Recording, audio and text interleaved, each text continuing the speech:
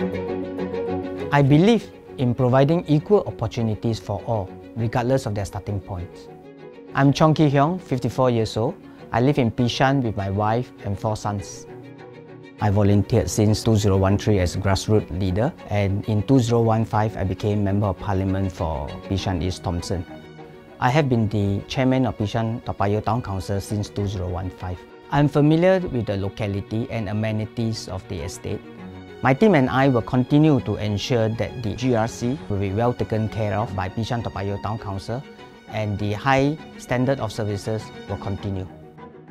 I think most important is to continue to speak with the residents to understand the needs. As needs are evolving, the needs are changing to better meet their requirements.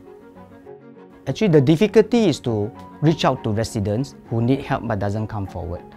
So we have to find ways through their neighbors or through the grassroots leaders how to reach out to these people. Students from lower income families could also benefit from our Equal Start program. This is a program where we bring non-academic enrichment classes to the students so that they can have a more wholesome education. Over the years, we have done many upgrading projects in the estate.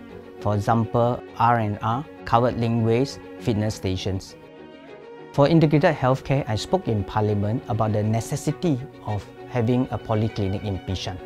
So residents can look forward to more affordable and accessible medical care options.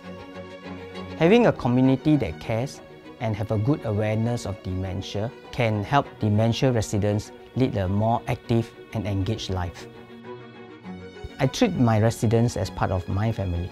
I would like to do my best to improve their lives and make the environment better for them. I ask for your support for me to continue to serve as your MP for the next term.